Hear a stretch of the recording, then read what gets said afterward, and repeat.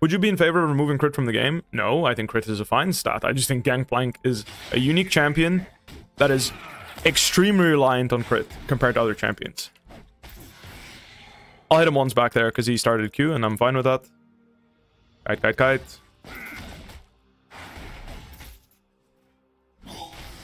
I gave him a grass proc, but he's hitting a bunch. He's getting a bunch of uh, damage from the creep, so it's fine. His attack speed was too high there, so I didn't actually get to cancel the auto. He has too much passive stacks. I shouldn't have uh, traded autos that much. But either way, uh, he has no sustain and I have sustain. So trading this aggressively into Jax is very, very good.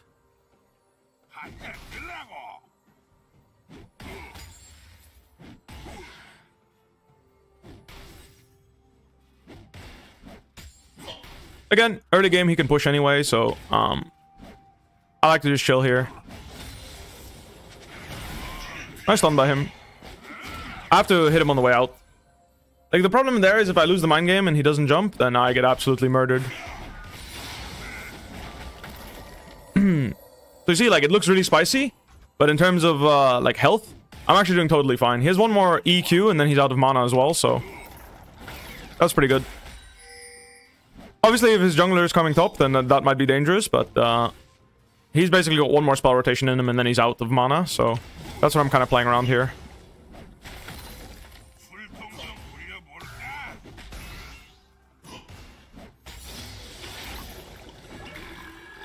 So it is spicy, but you see how now he's suddenly running out of HP. He has to be scared of my jungler uh, because the, he's just been pushing the wave into me and like playing super aggressive, super, super spicy.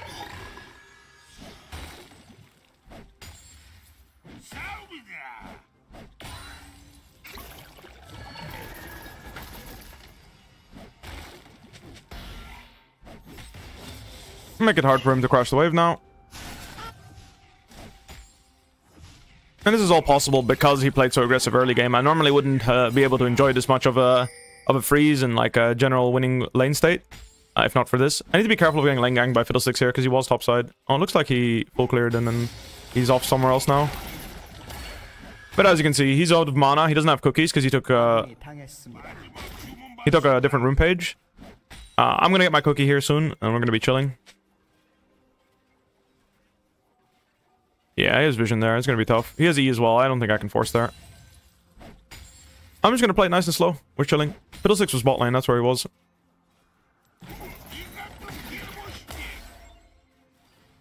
See, I'm just enjoying a nice slow push now. He hasn't been able to touch the wave forever. That's because he made it too spicy here. Not good for his matchup to make it that spicy, basically.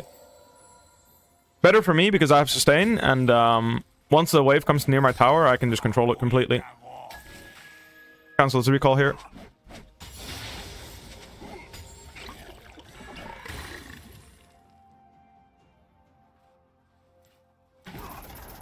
I can tower dive him here, uh, 1v1. Just need enough mana for Q into... Like, I can't use Q on the wave here, because otherwise I won't have mana, so I'm just gonna auto-attack the wave down. If I can get him to use TP to catch a big slow push, that's also good. That means he can't base TP later. Again, saving my mana just to make sure he does he he uh base TPs here. Yep. Very nice. And I got a little full charge Q on him. Beautiful. And I got my Lost Chapter. Beautiful. Again, Fat Man with Comet is the way. Oh wow, the smoke screen killed him. That's kind of crazy. And I get to save my TP, so I'm going to waddle back here. Look at that. Massive slow push and double kill mid. Beautiful. But yeah, a lot of times people don't understand that like making a making a lane volatile can be favored, can be like you know like making a, a winning lane uh, volatile can be good, it can also be bad. In this case, it was good because I had Graves pathing up. And obviously, Fiddlesticks, if he was coming up, he could have flash feared me when I was this low, and I could have gotten bursted in for in like one shot, right? So it, it, there, there's inherent risk to it. However, this risk is well in my favor because Jax can't touch the wave. Meanwhile, I'm slow pushing the wave like that, and it's only going to get worse now.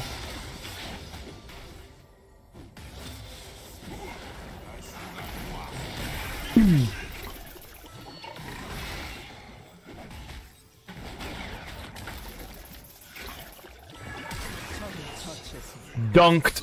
Oh, I had to wait until I finished drinking my my beer before I could flash auto him, because obviously you're in uh you're in the drinking animation. Actually, I'm just gonna crash the wave here. A nice little bomba. Actually, I can push out the next wave. I have a Lost Chapter, so I have so much AP, I can just fast push. Very chill. And again, nice little Gragas masterclass. I don't have flash now, so he does have, once he has his next ultimate, I need to be mindful that he will have an opportunity to flash on my head. Um, and without phase rush, I can't escape him. So this is the downside of playing no phase rush in this matchup. When you use your flash to solo kill him like I just did, you'll have a discrepancy in flash, and this can lead into getting solo killed. So be really mindful that you don't let that happen. Right now, I'm going to be really mindful that I do not let him solo below me.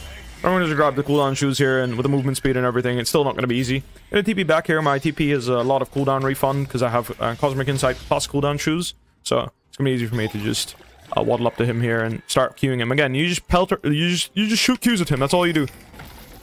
Well, you, you try to hit them, ideally. Every time he walks up to you and tries to interact with you, you hit him with a body slam. That's it. You don't body slam forward ever. You see that Q damage? It's disgusting with Comet. Don't let him walk into you, okay? Don't let him walk into you. And just Q him. Look at that. Look at that. Look at that. Look at that. Look at that. Ward in the bush. You know, let the minions pelt him. Let the minions pelt him. He queued away. Q on his forehead. Boom. Can't play the game. Cannot play the game. He's just sad right now. Don't use body slam. You don't need to. You just Q him. Every time he last hits, Q.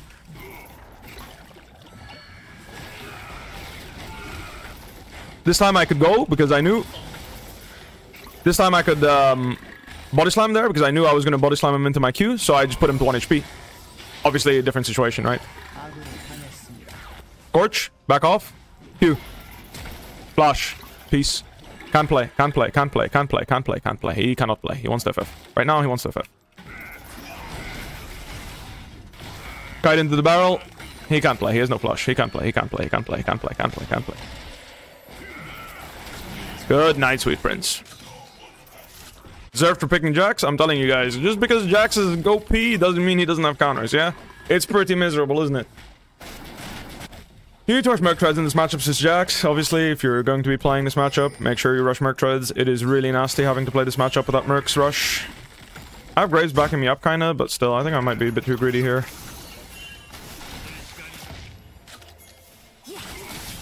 Oh, wait. I'm dead. Oh, my Q didn't slow her. Otherwise, I think he could have lived too. I didn't realize Alistar was so, like, had so much tempo on us. That's my bad. I should have just kept proxying and just recalled in my own fucking, like, in my own business, you know? Minded my own business. Alistar a flash now, though, so he'll die here. Uh, unfortunately, Jax came back from base, so he's dead too. Big blunder by me, honestly. I shouldn't have, uh, I shouldn't have gone there. I should have just proxied and recalled behind my own tower. That said, it's not the end of the world for me, because Jax is still losing a shit ton. He only got an assist. He didn't get much. That was my bad though. I shouldn't have, I shouldn't have body slammed in there. I also missed my body slam. That was kind of cringe. Draven tried the solo dive, got flash and ult from from Kai'Sa. It's not the end of the world.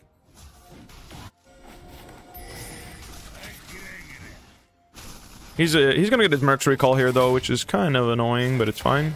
Oh, he hit the W there. She's dead. Really well played by Rakan. Kept cancelling her base, and then eventually she got fucked. I'll hover there because it matters more than cancelling Jax's base. Um, because if we kill her, that's guaranteed Herald, and obviously that's more valuable than me shitting on his Jax a little harder, because honestly, I've been dumpstering him pretty hard anyway. His Merc Treads won't change the fact that it's still pretty miserable to play, uh, now that he has no flash.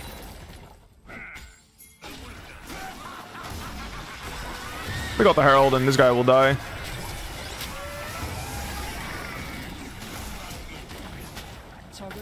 I just wanted to peel the guy. Nice.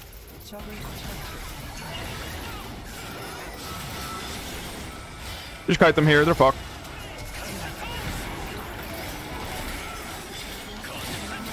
Play with Yone.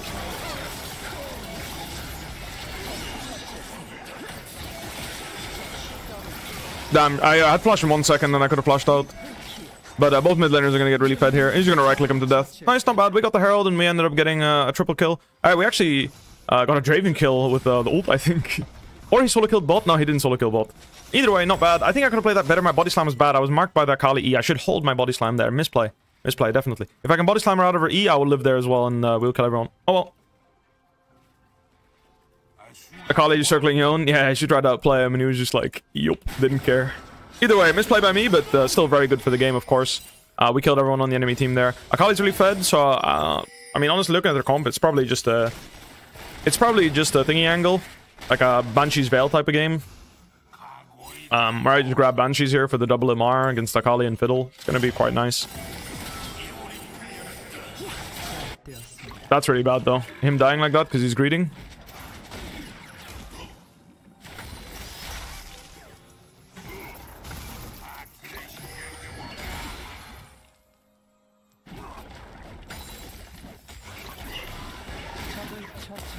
Like I said, it doesn't really get better with levels. In fact, it gets worse.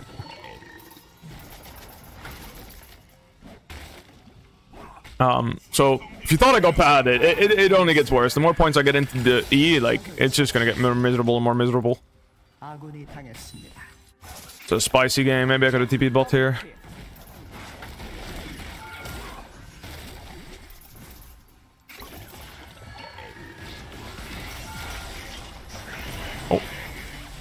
Mr. Z, Mr. Z, so I'm just gonna kill him here. Oh, one for one. My bad. I, I was still getting full tower damage there. I didn't reset the tower aggro. I didn't realize. My bad. I shouldn't trade one for one ever there. Misplay. Also, I missed my Q timing. That was really bad. Misplay. My Gragas is quite rusty, honestly. And also, like, I'm not gonna lie. Playing Gragas with one less finger is kind of hard. Just like... You want to press, like, E, R, W, Q. Like, you know what I mean? Like, you want to press all your combos at the same time, you know? So it's, it's kind of hard to play this champ. With uh, one less finger. So forgive me for my bad play. At least you guys get to learn from the uh, from the decision making. All right.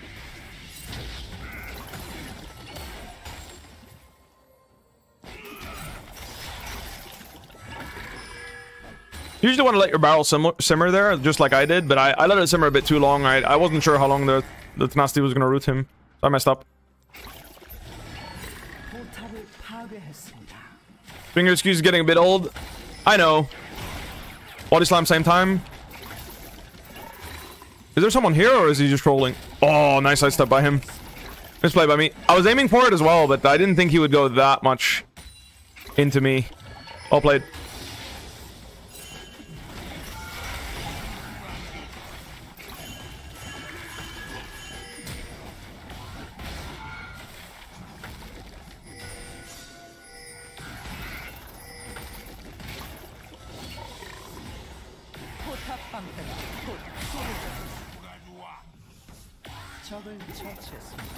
I'm bad.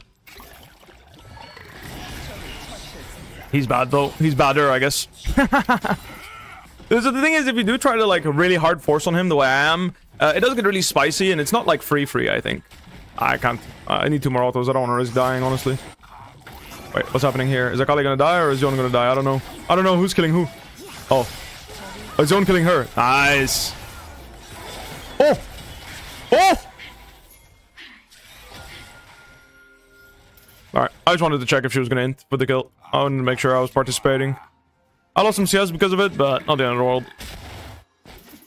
The, the fact that Jax is almost winning? No, it's because I'm taking so many tower shots, bros. Like, it's nothing to do with how broken he is. I mean, he is definitely strong, but like, yeah, if I take 12 tower shots per trade, it's pretty hard to, uh, like, you know, win, I guess.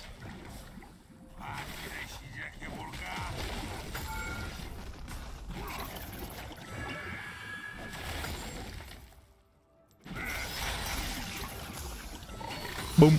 Bye. Honestly, I kind of want to stay till I have Banshees, but I think that's a little too greedy.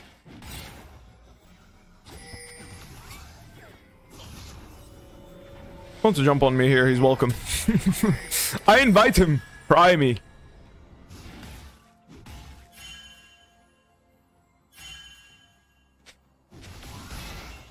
Like, if we fight in a normal lane, then it wouldn't be the case, but I'm trying to, like, push myself to, like, you know, improve my mechanics as well on the server, right? So I don't want to just like sit there and like win my lane and then just like AFK farm. I actually want to fight people and like push myself to harass them under tower and stuff.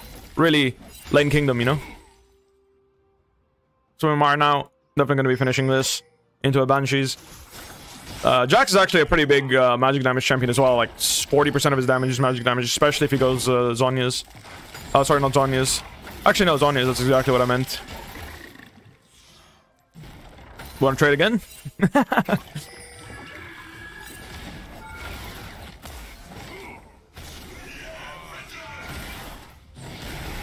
one for one because I'm trolling again. My bad. I didn't. I I didn't. I thought I walked enough far enough out of tower range, uh, but I did not.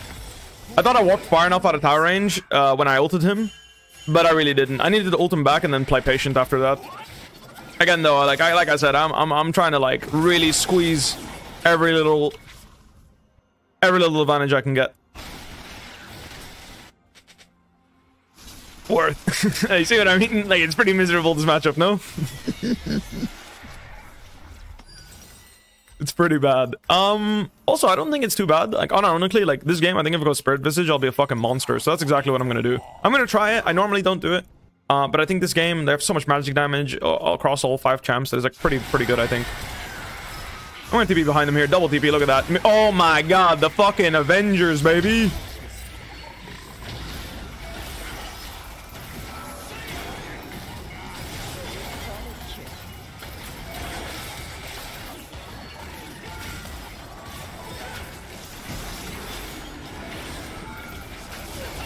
Holy fuck, this guy can't move his champion.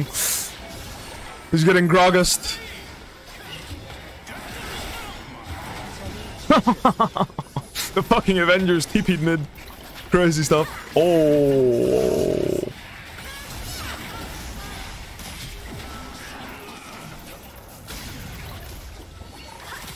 Ah! No guy's ult, I'm fine. I'm fine, I'm fine, I'm fine, I'm fine, I'm fine, I'm fine, I'm fine, I'm fine, I'm fine, I'm fine, I'm fine, I'm fine, I'm fine.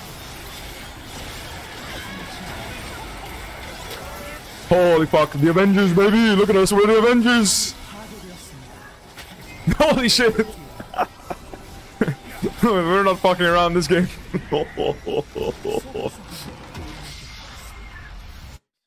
Holy shit.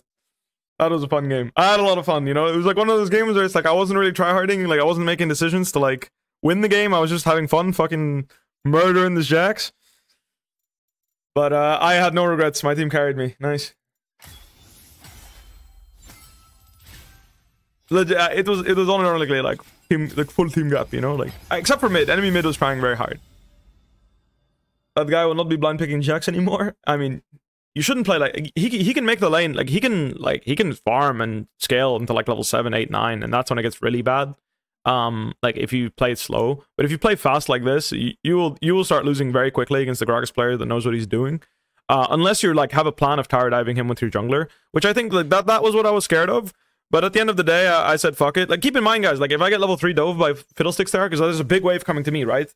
And I'm low HP and he's low HP, but the wave will crash. I can't stop it from crashing. I don't have the resources to stop Jax from crashing. He's too tanky, right, early game, with Grasp and Doran's Shield. So the thing is, like, you know, all of you would be probably XDDing me and like laughing at me because I'm a griefer because I get towered over and I'd be 020, you know? That's the downside of like agreeing to the, fighting. But the thing is, if there's no action, it's really bad for him. And if there is action, it's very like if like if there is action, it's bad for me. If there's no action, it's really bad for him. Remember the Darius game that uh, Adam 1v9?